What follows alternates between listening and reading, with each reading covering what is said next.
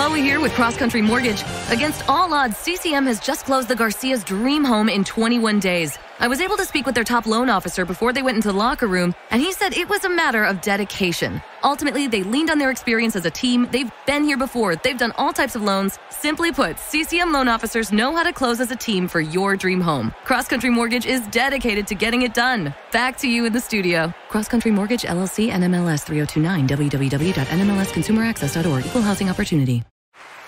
Hear that? Is that America cheering or a sausage patty sizzling to perfection? It's time to cheer for Egg McMuffin and fresh cracked eggs at McDonald's. It's time to wake up to the aroma of freshly baked biscuits and treat yourself to a real honest to goodness morning meal. Breakfast. It's on at McDonald's. Now enjoy a large iced coffee for just two bucks. and a breakfast sandwich to make a meal. Prices and participation may vary. Cannot be combined with any other offer or combo meal.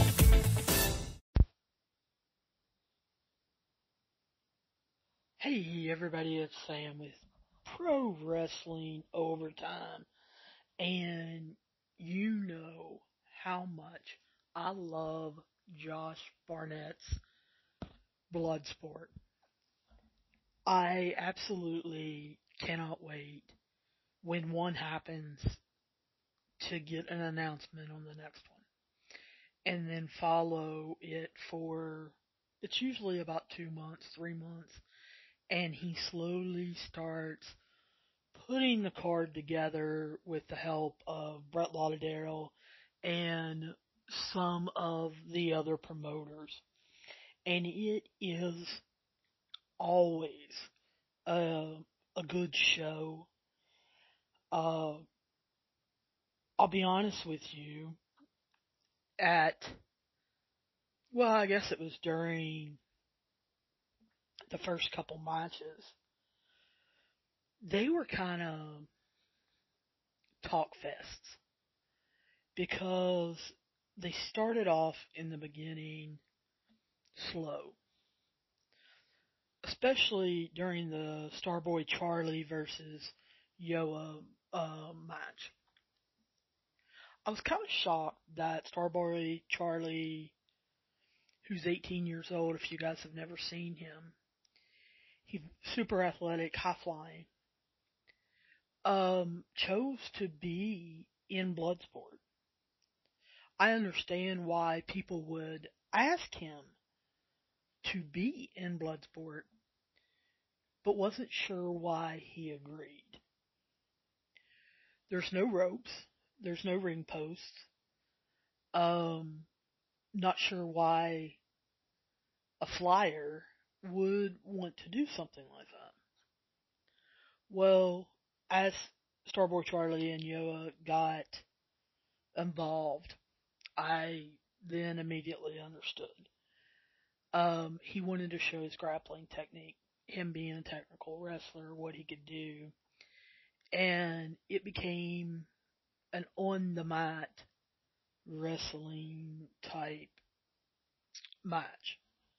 Well, I had some people with me that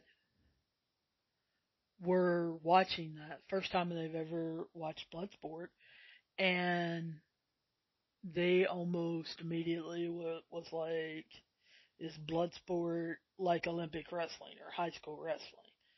And I was like, "Not usually." And they were like, "Good, because we hate this."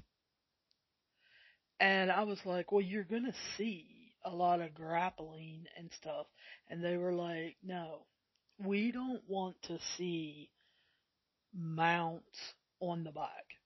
If they are grappling and, and trying to do submission moves and countering it and different things like that, that's one thing. We're used to that in UFC. But this trying to turn people over and it almost looked like at one time um Yoya almost went for a pin. And so it was like they were forgetting where they were. Starboy Charlie kind of acted like he was taking control of the match. I really thought that he might actually win his very first blood sport contest. But I think everything got exciting as it ended because Starboy, like I said, was controlling it. He came up off the mat and Yoya got to his feet before him. And as Starboy Charlie moved in, Yoya uh, caught him with a knee. Completely. And I do mean completely. Completely knocked him out. And you could see just an immediate change in the crowd that it was like, oh my gosh, this is exciting. So I don't know if there were a lot of new people there. I know new friends of mine were bored, were talking about turning it off, were even questioning, you know, why are you having us watch this? But as soon as boom, he knocked him out, they ramped up. Zeda Zhang, yeah, that's with Z's. Zeda Zhang. She is a former WWE wrestler involved in the Mae Young Classic and, and things. Came out and I remember her vaguely maybe one time. I don't remember watching a lot of matches. And she got let go by WWE, I think, a couple years ago. And I don't remember seeing her since. So, really didn't know what we were getting. Didn't know how she would come out and be. Of course, then we see KZT come out. Seen her several times as far as WrestleMania week at the Collective. Uh, seen her on past Blood Sports. Um, was expecting maybe her being a veteran to win, but Zeda Zhang, I thought, put on a heck of a match. Uh, was really energetic. Her counter moves were very clean, very quick, and she ended up winning and very shocked that someone hasn't picked her up or been interested in her. Technically, I think she's pretty good. Now, needs maybe a little work on the mic, but definitely wasn't bad. Uh, Royce Isaacs versus Clark Connor. Really was shocked with this one. Of course, been watching Clark Connor and Royce Isaacs on New Japan Strong. I don't like Clark Connor. I'm going to be doing some New Japan Strong updates here later in the week, and I just can't stand him. I don't like his attitude. I I feel like his style is kind of herky jerky. He's not real smooth. It's almost like he's not real sure what he's doing when he's putting together combinations. Royce Isaacs, I really feel like is the better wrestler, the better competitor. However, Clark Connors got the win, and I guess it was just a little shocking. Um, not that Clark Connors is not a good wrestler. It's just that did not expect to see him do that to be able to control or to be able to win, I guess. Now, Marina Shafir versus Masha Slamovich um, was interesting. I hadn't seen uh, Schaefer in this style since WWE Raw Underground, which was what? It was sometime last year. Um, we got to see her, you know, fighting there. And of course that got the rumors stirred up of them pulling the four horsewomen of UFC together. They even mentioned it, I think, on the announcer calls about how Schaefer had become a part of that group with Shayna Baszler and Ronda Rousey. Masha, I have only seen two or three times. You can tell uh, she's a little inexperienced, but like I said, real energetic also. And thought she was going to take control, that her unexpected moves by her were, I think, surprising somewhat to Schaefer. But Schaefer's experience, her veteran instincts, her submission moves really got to Masha and if Masha's going to continue in Bloodsport, she's really got to be working on her counters and still keeping that shocking nature, but just being smoother, transitioning and, and working around it. Davey Richards versus Yuna Iamura, um, good match. I didn't think it was real exciting. I thought it was really a typical Davey Richards style match. Um, yes, uh, on Yuta's comeback, Davey didn't look real good. But throughout the match, he pretty much controlled it. Um, looked like he was actually the leader, if you want to say, of it, and um, really was impressed with him. Erik Hammer and Bad Dude Tito. Of course, seen Bad Dude Tito millions of times on Bloodsport. I don't really understand why he's called Bad Dude because it seems like he loses every single time. He acted like this time when he lost it actually bothered him, but sometimes he acts like he could care less. Even as a collective during WrestleMania week, just didn't look like he was with it. Erik Hammer, I had not seen. Um, although I'm going to be looking out for for his name controlled the whole match. Uh, really overpowered and overworked by Dude Tito.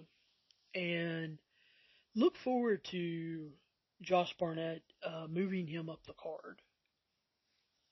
I'll tell you what I thought might steal the match of the night.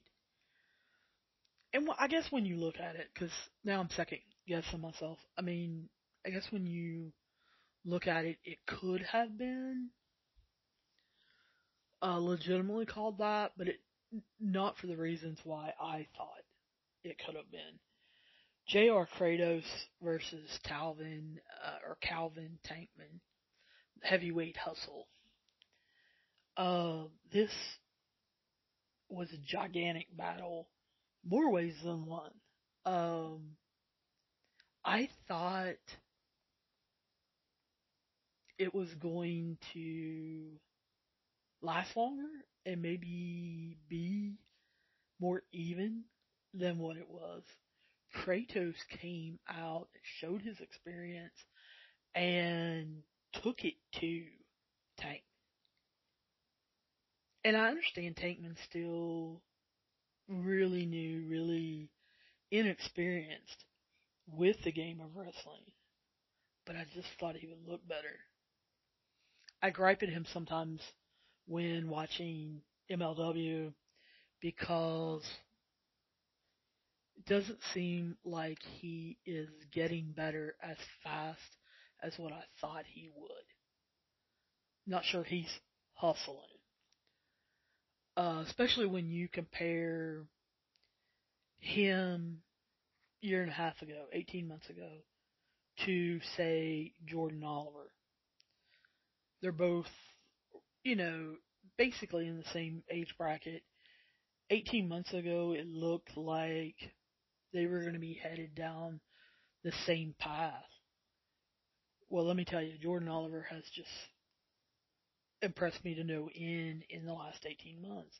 Whereas Tankman, yeah, he's athletic, he's learning, just looks like a real. Chloe here with Cross Country Mortgage. Against all odds, CCM has just closed the Garcia's dream home in 21 days. I was able to speak with their top loan officer before they went into the locker room, and he said it was a matter of dedication. Ultimately, they leaned on their experience as a team. They've been here before. They've done all types of loans. Simply put, CCM loan officers know how to close as a team for your dream home. Cross Country Mortgage is dedicated to getting it done. Back to you in the studio. Cross Country Mortgage LLC NMLS 3029 www.nmlsconsumeraccess.org. Equal housing opportunity.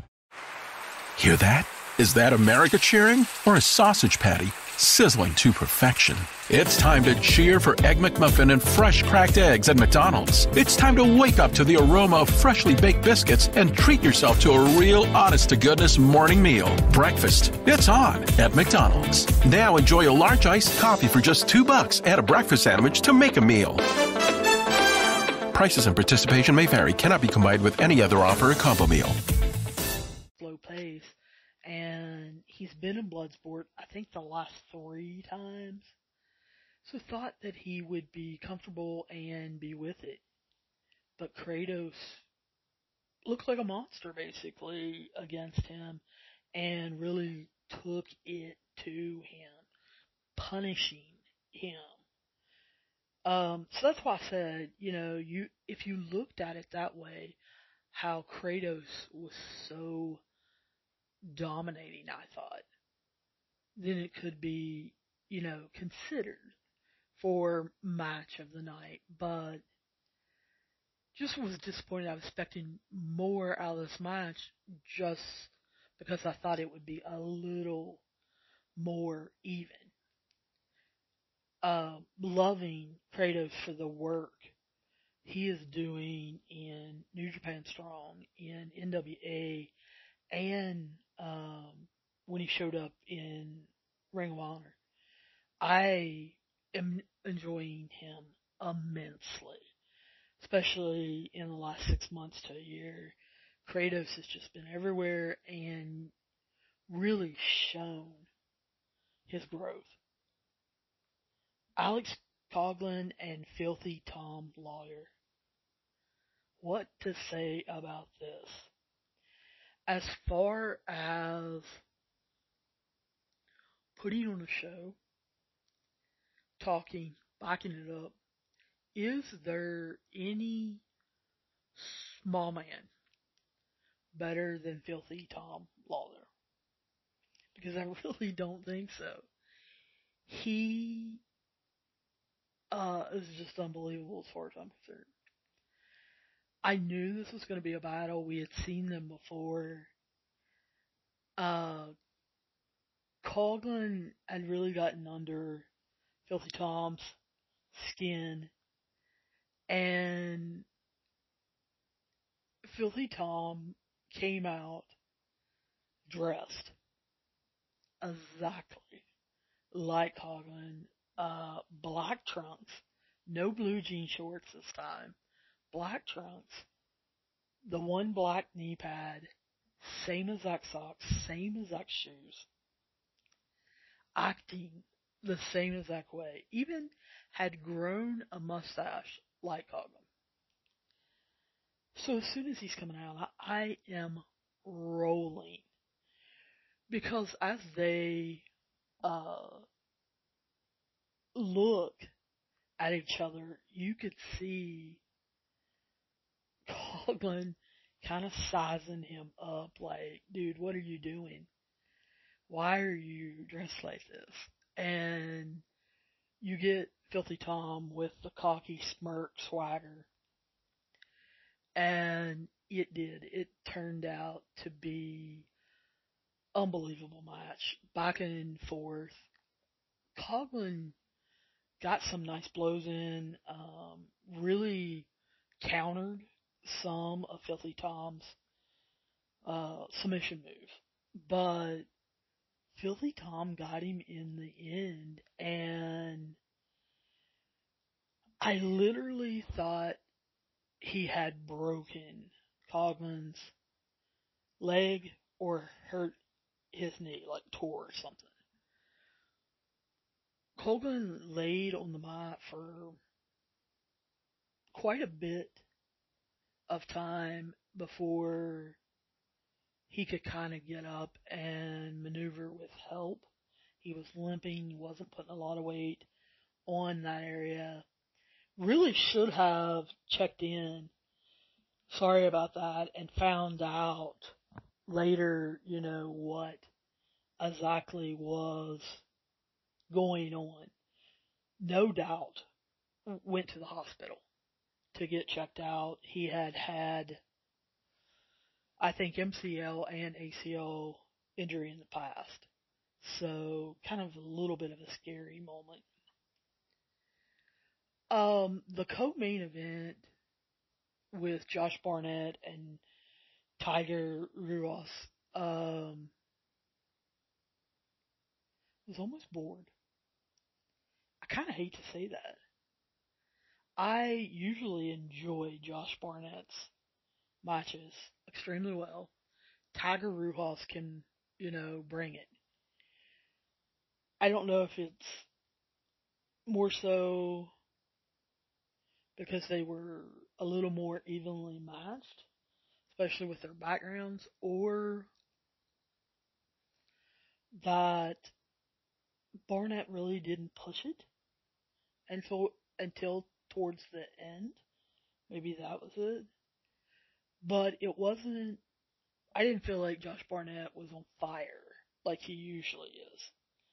And I think that's the Josh Barnett that I really enjoy watching. I thought Tiger Ruas was his typical self as far as very even killed, very um, standard, very um, can't think of the word, but he was just his even killed self doing what he typically does. Whereas I felt Josh Barnett went down almost to his level.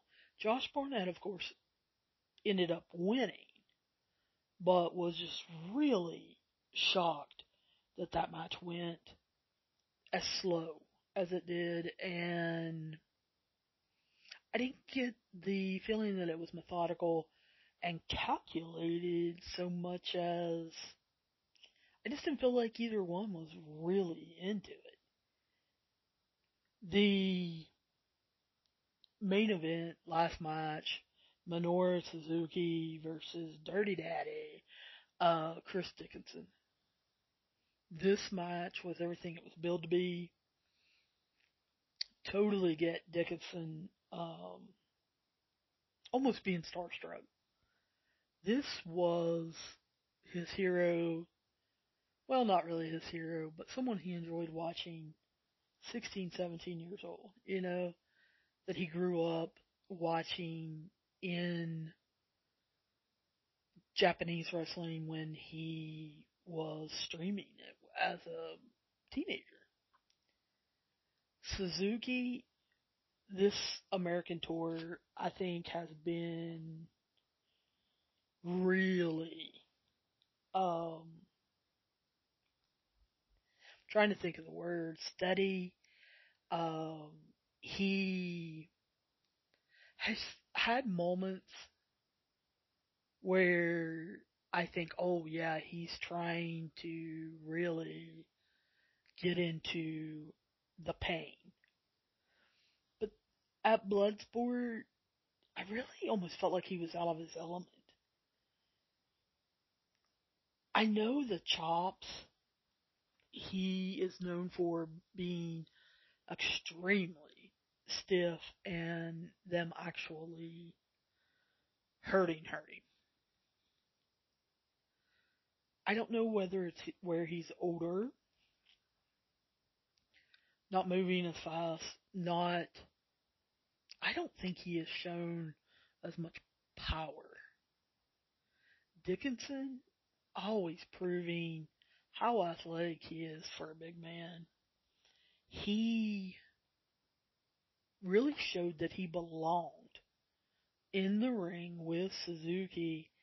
And I've said this before with him on New Japan Strong, with him on Ring of Honor, uh, being around Brodie Lee, really learning kind of the ropes. Um, I love him in GCW. I love his enthusiasm, his character, how he interacts with the fans. Chris Dickinson, I would love to see in one of the bigger promotions, but I wonder, would some of his talent, his charisma shine through in the bigger promotions where the fans aren't as interactive, aren't as into it, and really want to know the wrestlers. I think that's what I like about grassroots wrestling. The fans get a chance to talk to these wrestlers. They get a chance to be around them, to touch them, to interact with them, and I feel like they make a greater connection. Whereas in the bigger shows, sometimes it's just a show.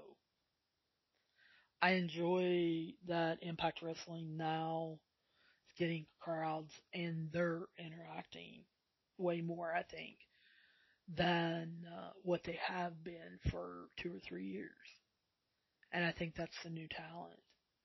Um, I'm enjoying watching the GCW product, which Bloodsport is under. They are truly building up a connection with their fans, but allowing the wrestlers to build that up.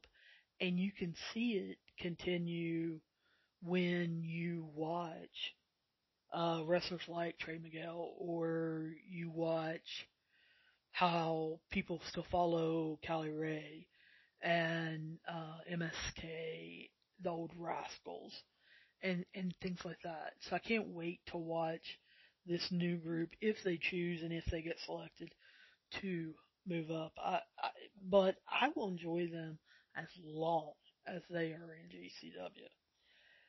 Thought this Bloodsport um, on paper looked was weak.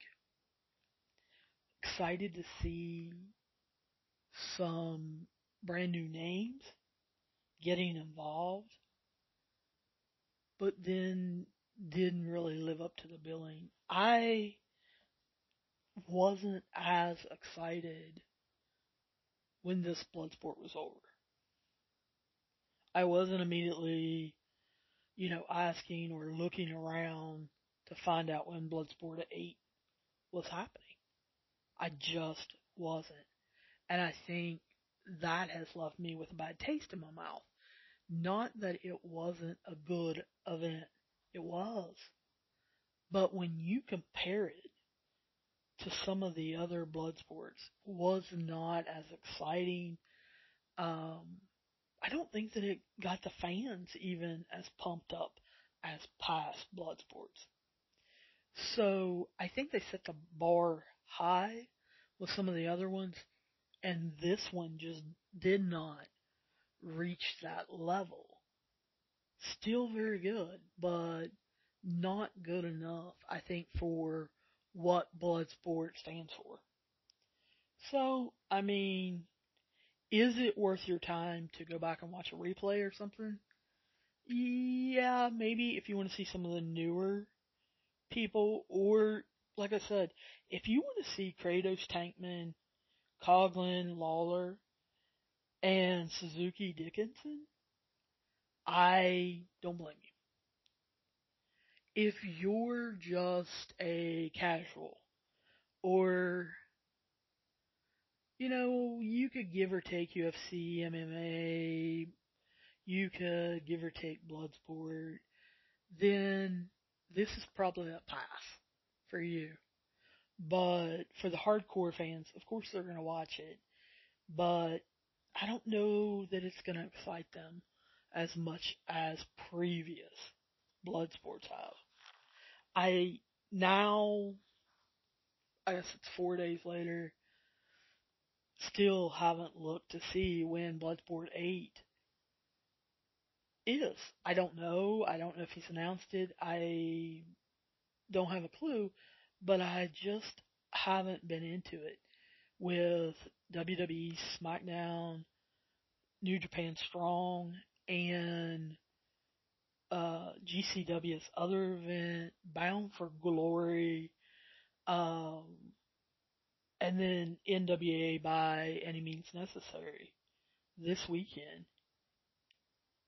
This doesn't rate as high as others. Oh, I forgot, uh, AEW Dynamite. Unbelievable. So, um, guys, I will be talking to you guys soon about, I'm sure another topic, another event, but this one, kind of a downer. But I will talk to you soon and hopefully I will see you down the road.